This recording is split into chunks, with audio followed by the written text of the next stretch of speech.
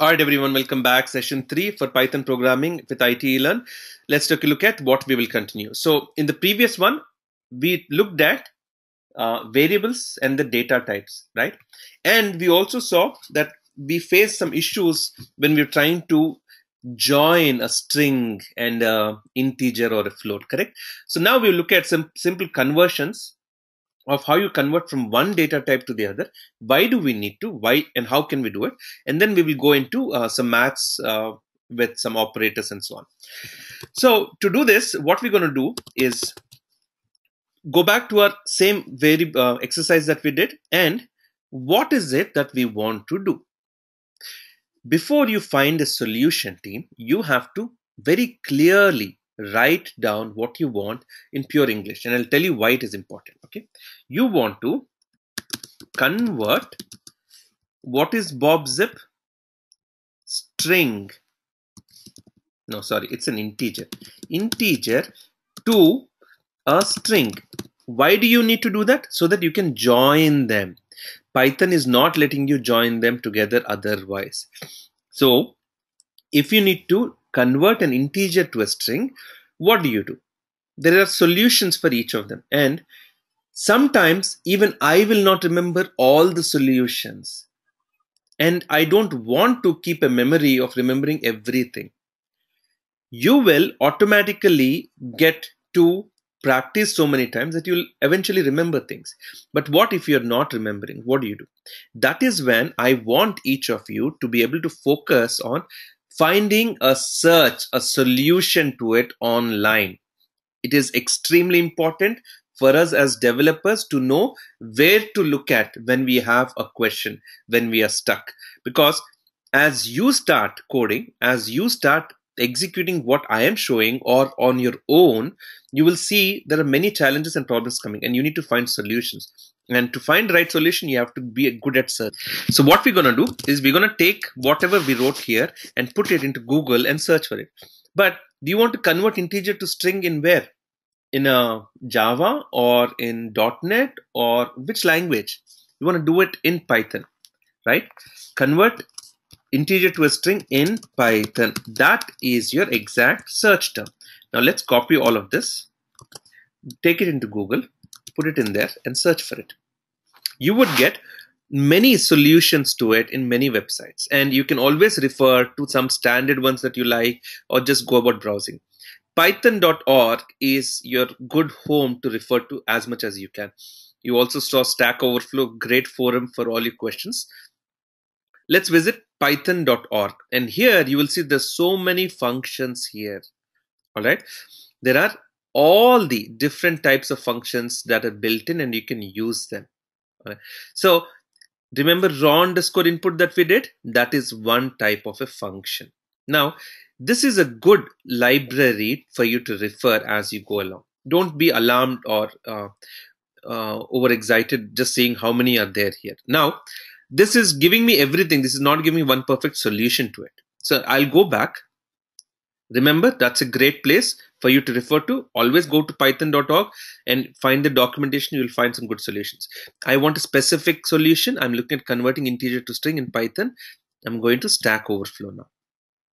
Here, someone wants to do something similar and you may find a solution to it. Do you see this? String 10, int 10. Primarily, the simple solutions are using int eh, or string. What does that mean?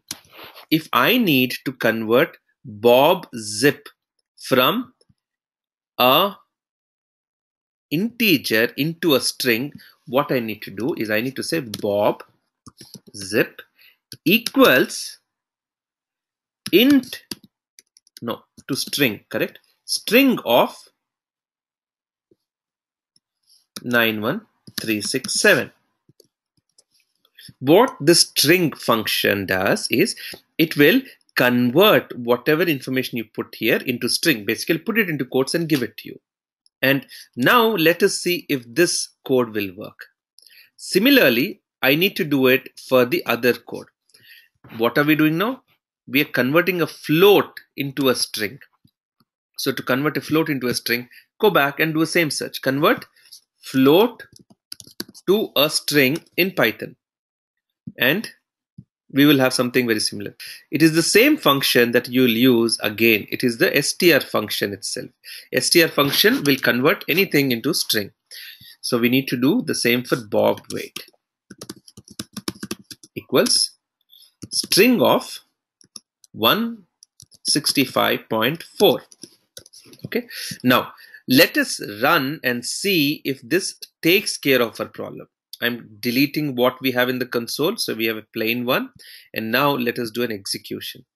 So Bob phone number Bob zip code Bob email Bob weight is. Perfect. We've got all the information correct.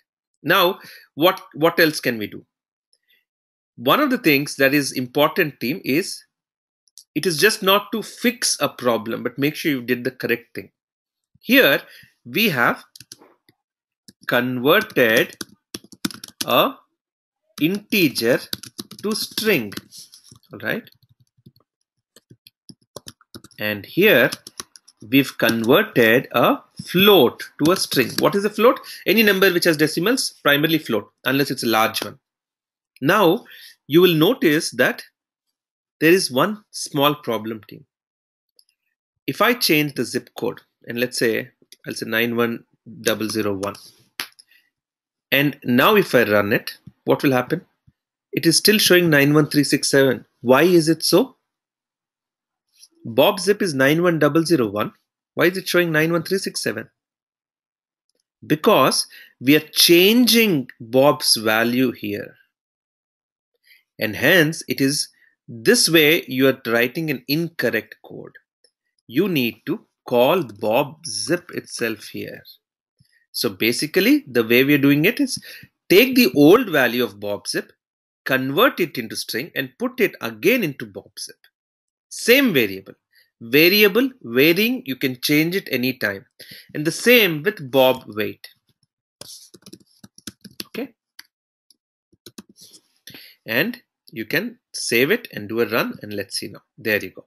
So it will take the latest ones whenever you call the variable. So always remember team once you define a variable call the variable not the value. The value will automatically come to you. Call it by its name let the value come automatically. All right great. Now let's look at some simple math functions. I'm going to open a new file very simple ones. I'm going to say py prog 4 maths dot py. All right so that's just a naming convention a style that i'm following. You could do whatever you want at your end. So what do i mean by mathematics? Let us say there is a variable named x and i'll say x equals 10 so what is the data type of x team? Quickly. Integer. Why? Because it has it's a number no decimals. Y is 20 now i want to say a new variable z equals the sum of x and y that means x plus y. Oops, x plus y. Now what I can do is I can say print the sum of what is there in x plus x plus and plus y plus is plus z. Now do you see what I've done here team? I have primarily I've primarily put a big long string and it can you can easily get little confused about it. So let's not get confused. Let's be very clear about it. This is a string. I am concatenating it or appending or joining it with a variable value using a plus sign and then I've used space and so that it will reflect even in the print. Again y. So then the result should be something like the sum of 10 and 20 is whatever is there in z. So as soon as you see x y and z and you put it all together like this let's see how it will execute. Save and run. Trace back. The sum of cannot concatenate string and int objects why string? Oh, there you go. The same thing again. Remember, you cannot concatenate string and int objects. But I don't want to change the data type of x itself. Okay. So what I will do is I will put this as string of x string of y and string of z now there is a small difference that you need to really note team and this will be very important for you to uh, keep an eye on okay? Fundamentals this is where once you cross these small hurdles you will become a good programmer. The decision how you learn these fundamentals and practice on them will decide on your career path for being a developer team. Remember that always so there is x it's a variable. What is the value in it? 10 what is the type of x as a variable? It is an integer. Now i want the value to become a string because i need for only for concatenation. If i say x equals string i'm just saying s right now but read it as string is s of x what happens team? It will take x the value it will convert it into string and put it into x. So no longer x will be an integer, it will become a string and there'll be quotes for this. So the place where x is stored in the memory, that location we're going and changing it.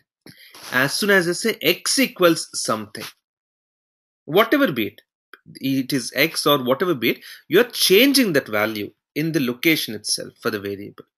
However, if I just say s of x wherever I want, string of x wherever I want, I am taking the value and using it there, but I am not going and changing it in the original place where the variable is stored. Team, important concept, rewind this video few seconds and look at it again. So instead of saying instead of saying x equals string of x why am i not saying this? We do not wish to change the data type of x or y or z. We are saying that we will keep it as is. Only we will do it where we need it. All right? So if I save this and I run this, now let's see. The sum of 10 and 20 is 30. Now, if I change this, oops, if I change this value, 100 and 200, it will automatically do it. So, the same program, I can change certain things and it will execute uh, and it will do it accordingly. Now, we have done the sum and I'll say z equals x plus y. Now, the same thing I'll copy and I'll say z equals x minus y. Okay? The difference. Now all i'm changing here is difference of x and y is whatever. Will it give me 300 or will it give me minus 100 100 here minus 200 100 minus 200 is how much team?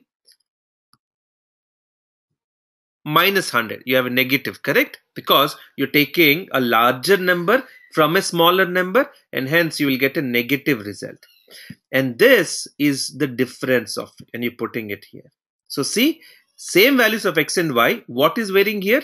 Z is the one which is varying similarly i can also say things like uh, x star y that is multiplication. The the multiply the multiplication of whatever values we give is what we will see. So I'll use 10 and 20 for now.